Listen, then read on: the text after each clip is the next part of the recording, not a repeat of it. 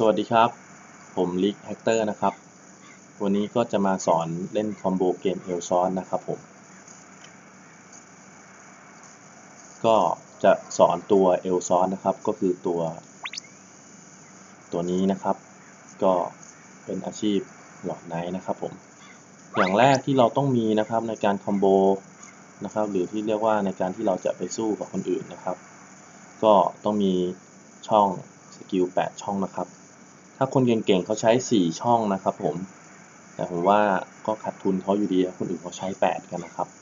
ก็ใช้ได้ 8 ช่องก็น่าจะดีกว่านะครับ เราก็เข้าไปดูกันก่อนครับว่าจะรู้จักกับ skill ต่างๆก่อนนะครับ มาเราเข้ามาแล้วนะครับ ทีนี้กด F5 F6 เพิ่มเลือดนะครับท่าแรกที่ผมจะสอนนี่ก็คือท่าเตะนะครับ กด Q ครับปึ๊กเนี่ยครับ แล้วท่าที่สองก็คือ W นะครับ ท่านี้ดาบยาวนะครับ จะยาวออกมานะครับ ก็กินมานาอยู่ 200ยี่อะ250 นะครับ อยู่กับเรา ดาบจะยาวอยู่กับเรา 25วิครับ ตอนที่เราเรียกออกมาเนี่ยนะครับ พยายามให้โดนคู่ต่อสู้นะครับผมอย่างนี้ครับ เพราะถือว่าเป็น skill โจมตีอย่างหนึ่งนะครับ แล้วก็จะอยู่กับเรายาวๆนี้นะครับก็ดาบก็อยู่กับเราแล้วก็ระยะโจมตีก็ยาวขึ้นนะครับนะครับครับ เสร็จแล้วท่า E นี่เป็นท่าที่ทำให้เรา เป็นร่างแดงนะครับ แล้วก็ทำให้คู่ต่อสู้ติดสตันนะครับ นะครับ ช่วงที่ตัวเรามีขอบแดงๆขึ้นนะครับ จะไม่ได้รับแรงกระแทกจากคู่ต่อสู้นะครับ ที่เขาใช้ท่ามา ก็คือเข้าครับก็เสียเลือดบ้างแต่ว่าเห็นไหมครับ แต่ว่าจะไม่หยุดทำการโจมตีนะครับ ส่วนท่าตัว R นี้นะครับก็คือตัวกิ้งนะครับ ผมกิ้งไปข้างหลังคู่ต่อสู้ ก็เป็นร่างแดงแป๊บหนึ่งนะครับ อย่างที่เห็นนะครับ แล้วก็คูดาวเร็วดีนะครับ อ่า สร็จแล้วท่าที่จำเป็นต้องใช้ก็ตัวท่าตัว C ของผมนะครับก็คือ Killing นะครับ ก็ท่านี้จะทำให้ตัวเองนะครับ เป็นร่างแดงนะครับอยู่กี่วิครับอ่าอันนี้อยู่กี่อ่าอยู่5วินะครับผมก็ทำให้สามารถเนี่ยครับไม่เราก็สามารถเดินได้นะครับ เวลาคู่ต่อสู้คอมโบหรืออะไรก็ตามเราเข้าไปเนี่ยเห็นไหมครับ เราจะไม่กระตุกนะครับ เราทำให้เราคอมโบเขาได้นะครับ ส่วน ท่าดีนี้นะครับ ไว้จู่โจมระยะไกลนะครับ ผมกินมานาร้อยหนึ่งนะครับ ไกลถึงครึ่งจอเลยนะครับ อย่างเงี้ยครับ เนี่ยครับ เห็นไหมครับ ก็ไกลถึงครึ่งจอ ส่วนท่า S ของผมเนี่ยเป็นท่าโครงสว่านนะครับ เนี่ยครับ จะสามารถหมุนได้นานขึ้นนะครับ ถ้าเรากดตัว S ค้างไว้นะครับ ก็คือปุ่มมันอยู่ตัว S นะครับผมตั้งไว้ตัว S นะครับ แล้วก็ตัว A เนี่ยเป็นท่าเคาะเกาะให้เกาะคู่ต่อสู้แตกนะครับทำให้ฟันแรงขึ้น 40%นะครับผม เพราะฉะนั้นเวลา เราคอมโบเขาเนี่ยผมจะเคาะเกาะก่อนอย่างแรกเลยนะครับ คอมโบที่ผมจะสอนนี่คือคอมโบด้วยปุ่ม Z นะครับ เดี๋ยวจะเริ่มทำให้ดูนะครับ อย่างแรกเลยนะครับก็คือกดเดินหน้าค้างไว้นะครับ แล้วก็กด Z 4ทีครับ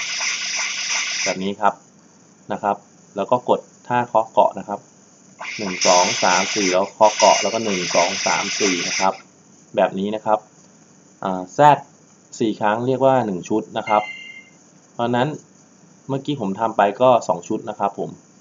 หนึ่งสองสามสี่เคาะเกาะหนึ่งสองสามสี่นะครับ แบบนี้คู่ต่อสู้จะไม่หลุดนะครับผมนี่ผมทำมันตายก่อนนะครับเพราะว่าเลือดมันเหลือน้อย เสร็จแล้วทีนี้ผมจะทำคอมโบสามชุดให้ดูนะครับ ก็กดเดินหน้าครับค้างไว้แล้วแซดนะครับหนึ่งสองสามสี่เคาะเกาะหนึ่งสองสามสี่เตะหนึ่งสองสามสี่ตีลังกานะครับเมื่อกี้ผมไม่ได้กดหมดแต่พูดนะครับทำไมนะครับ เดี๋ยวทำให้ดูนะครับอะ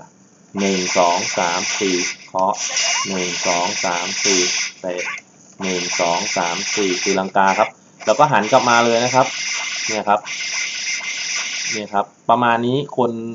ที่สู้กับเราก็จะล้มแล้วนะครับ ประมาณ 3 ชุดครึ่งนะครับ เพราะฉะนั้นเวลาเรากดตีลังกาไปเนี่ยครับ เราต้องรีบหันขวากลับมานะครับ อย่างเงี้ยครับ แต่ถ้าตีลังกาไปด้านนู้นนะครับ เราก็ต้องรีบหันซ้ายกลับมานะครับ เนี่ยนะครับอย่างเงี้ยครับ แล้วก็เพื่อที่จะฟันเขาให้ทันนะครับ แล้วก็เคาะเกาะตามนะครับ เนี่ยครับสี่ทีเขาเรียกคอมโบแทรกสี่ทีนะครับผมนะครับอะเดี๋ยวเอา ให้ตายก่อนทำไมผมถึงใช้ท่าเคาะเกาะหลังจากโจมตีสี่ทีก็คือ เมื่อคู่ต่อสู้โดนเคาะเกาะเนี่ยเราก็จะคอมโบต่อได้นะครับ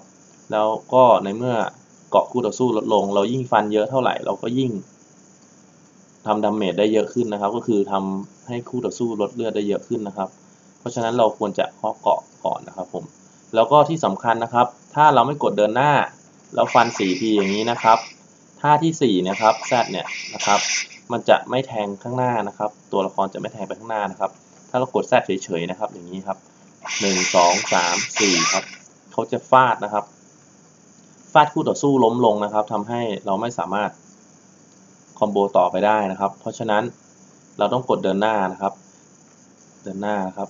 หนึ่งสองสามสี่เคาะเกาะหนึ่งสองสามสี่ตีลังกา แล้วก็หนึ่งสองสามสี่เตะก็ได้ครับ อย่างนี้ก็ได้นะครับ หรือว่าหนึ่งสองสามสี่เคาเกาะน้องสามสี่นะครับ เตะ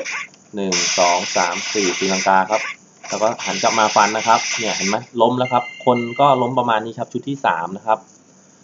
นะครับ ต้องเข้าใจครับก็คือแซดสี่ครั้งคือหนึ่งชุดนะครับ แล้วก็ในกรณีที่เราต้องวิ่งเข้าหาคู่ต่อสู้แบบนี้นะครับ พอเรากด Z เนี่ยนะครับ มันจะไม่มีทีที่ 4 นะครับ เหมือนที่เดินนะครับ เดินเข้าไปตีนะครับ มันจะทะลุไป 1 2 3 แล้วก็หันกลับมานะครับ อย่างนี้นะครับ เวลาเราวิ่งตามคู่ต่อสู้อย่างเงี้ยครับ เอ้ากระโดดหลบ 1 2 3 เห็นไหมครับ มันก็จะพุ่งทะลุได้นะครับ 1 2 3 หันกลับมาครับ 1 2 3 4เคาะเกาะ 1 2 3 นะครับ ประมาณนี้นะครับ จะไม่ล้มนะครับ แต่ไอ้เจ้าตัวนี้มันไม่ มันไม่ใช่มนุษย์นะครับ ร็จแล้วระยะไกลนะครับ ถ้าเรากลัวเขาหลบก็ให้ใช้ท่าดีนะครับอย่างเงี้ครับ เราก็วิ่งเข้าไปเลยครับ แล้วก็หันกลับมานะครับ แล้วก็คอมโบได้นะครับ สรุปก็คือแทรก4ทีนะครับผมแล้วก็ใช้ตัว A นะครับ หรือว่าตัว R หรือว่าตัว Q ก็ได้นะครับ เป็นการเชื่อมคอมโบอีกทีนะครับผมอ่านะครับนี่นะครับ ส่วนท่าอื่นก็ใช้แล้วแต่โอกาสนะครับ ก็ มันมีคอมโบแบบ x x x ก็มีนะครับ แต่ว่าผมก็ยังไม่ค่อยคล่องนะครับ ไว้เป็นแล้วผมก็จะมาสอนอีกทีหนึ่งนะครับ จะมาแนะนำให้อีกทีหนึ่งนะครับ อันนี้เดี๋ยวเราทำให้ดูนะครับ เนี่ยครับ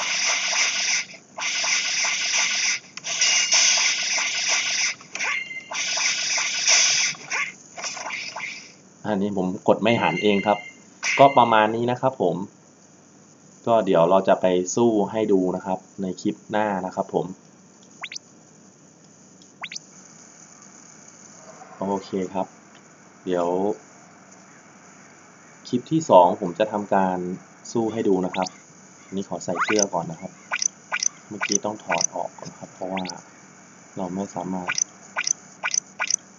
ของมันจะแรงไปครับไอตัวที่ไอตัวเห็ดเมื่อกี้มันจะไม่สามารถทนมือทนไม้เรานะครับ ผม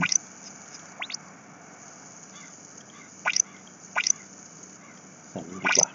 ใส่แว่นน่ารักดีกว่า ก็เออผมมีชุดคลุมอยู่เดี๋ยวนะหายไปไหนวะ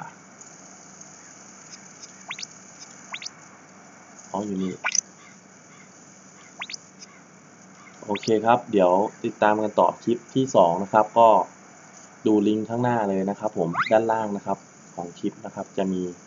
ต่อไปยังคลิปที่2นะครับ2ทับ2ครับ ขอบคุณมากครับผม